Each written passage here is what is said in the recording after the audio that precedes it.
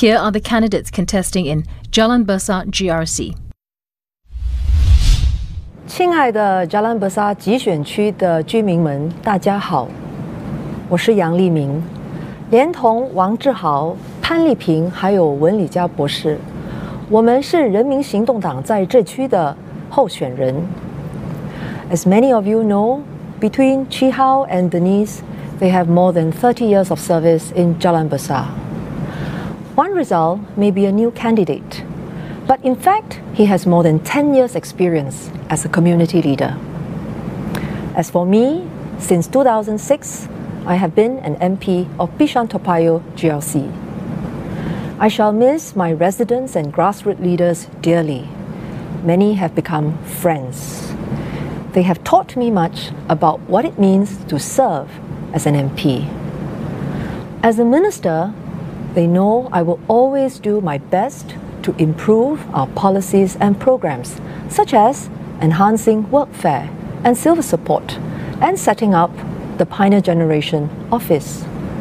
But as their MP, what they want most from me is a listening ear and a willing heart. And this is how we have made many improvements together.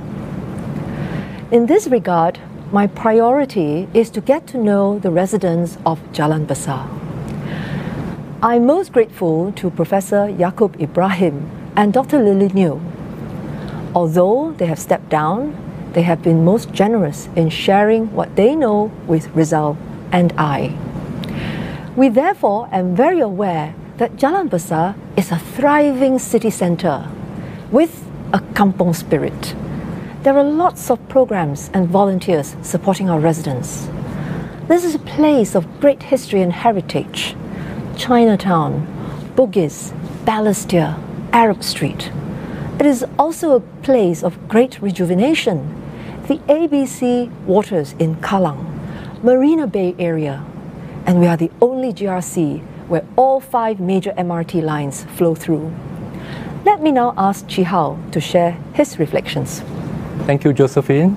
Dear residents of Jalan Besar GRC, as Josephine has uh, mentioned just now, Denise and I have spent many years serving our residents of Jalan Besar GRC with our heart. And because of the service that we have rendered and the relationships that we have built, there is great trust between our residents and us. I'll just give you an example. One day, while I'm on one of my regular house to house visits, I came across this flat. Looking in into the far end, I saw this lady cooking in the kitchen. So I called out to her, hello. She looked back at me and recognized me and she said, Oh, Mr. Heng, ni lai la. Ah boy, ah boy, ni chu lai, Mr. Heng lai la. And she came to the door and the son came up from the room. I had expected perhaps a little one, but actually he is a young teenager, big size, actually taller than me. And he said, Hello, Mr. Heng. And the mom said, Mr. Heng, 以前他小的时候，你抱过他。When he was little, you carried him. This conversation is quite typical when we go around in our house visits, not only in Whampoa for me, but my colleagues in other parts of the Jalan Besar GRC. What it tells us is the depth of our relationship and the familiarity and the trust feels almost like family. And because of this, we are able to understand one another, understand the needs, and know what is it that we should and must do for our residents. And this trust and wanting to continue uh, building this set of relationships with deep roots within Jalan Besar GRC is felt indeed by all our residents. When our boy grows up and wants to set up his own family, I bet you he would want to live near his parents, somewhere in Whampoa perhaps, and certainly in Jalan Besar GRC. And he's more able to do so now than ever before because the HDB has been building progressively more built to order precincts, BTOs, and he would be able to do this. And when he is able to get uh, to live near the parents, what happens is not only is he happy and his parents happy, but the entire town is constantly rejuvenated and revitalized. It is like a tree with deep roots, solid and evergreen. And speaking of roots, I would just like to highlight to you another very special aspect of Jalan Besar GRC and our town.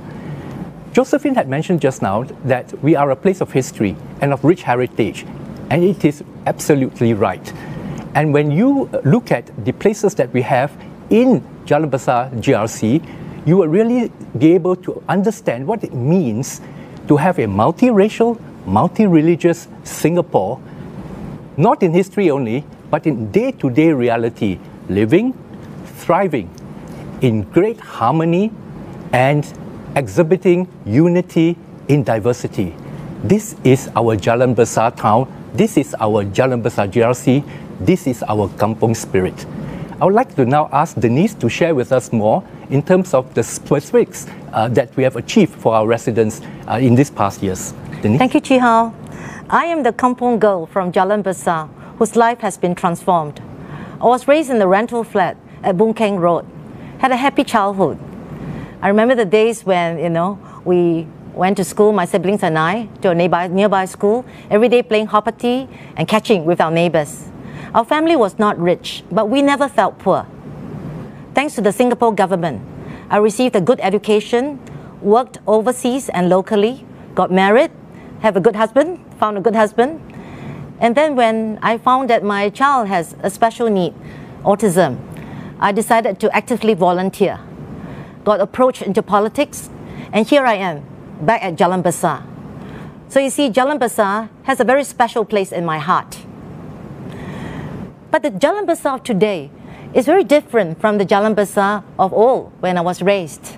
It's a blend of older and younger residents, rental and purchase flats, uh, public and private housing estates, senior activity centers, and childcare centers.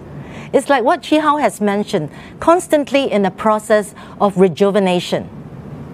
In fact, in the last five years, we've done quite a bit, Chee How and I and the whole team. Uh, six MRT stations were constructed, uh, nine markets were upgraded. We have uh, 55 lift upgrading programs and home imp improvement programs, and numerous social service programs. Every master plan that we say we will deliver that we have promised, we have delivered. But our job is not finished. Our job is not finished yet. We know as a team that there's more to do. Our population is aging, and we want to further support our elderly residents. We also have working adults who have come, grown here, or moved into our estate, whose jobs, for example, are threatened because of COVID 19, because of the global competition. We want to do more for them. And for our younger ones, we want to look after them better. We want to educate them even better for lifelong learning. So I'm so pleased to have Josephine and Rizal join us in this team for Jalan Besar. Our joint passions, our experiences in human resource, in marketing, in economics, in, in security, in education, disability advocacy will give us ears at that intent and will help us listen better so that we can do more for you to put action behind our desire to serve you honestly and diligently. After all, we are the People's Action Party. So now let's hear from Rizal, another kampong boy, to share his story with you. Thank you, Denise. I spent my years in the kampong. I remember chasing chickens and climbing trees. In the HDB flats, I played sports every day. And perhaps that may be the reason how I ended up in the normal stream in secondary school. I somehow managed to get a diploma, but because of my passion in sports, it spurred me to become a PE teacher. Now, as I continue to hone my skills and develop my interests, I obtained a, de- a degree at the age of 31, and four children later, a PhD. My fellow Singaporeans, this is the Singapore story. It is a story about hope. It is a story about opportunities. And at a personal level, it is a story about rejuvenation. Indeed, I would not have done it without the support from my wife and my parents. But as we continue to battle this COVID 19 situation, as we prevail and move forward, we must continue to make Singapore a nation of opportunities, opportunities for every Singaporean to achieve success. Para penduduk Jalan Besar GRC, terima kasih atas sokongan anda selama ini tentu sekali sokongan dan dukungan anda tidak akan diambil ringan. Saya ingin saya ingin memberitahu kepada anda agar memberi kita sokongan yang padu untuk kita di masa hadapan untuk masa depan anda dan keluarga anda. Terima kasih. Over to you, Josephine. 温里嘉博士谈到儿时的趣事，让我想起在七八十年代，经常陪祖母去牛车水，而我们喜欢吃的就是在模式街的客家酿豆腐。我们华人有句说法：“家有一老，如有一宝。”我很庆幸在财政部的时候有机会推广建国一代配套，向我们的前辈们致敬。我现在在人力部。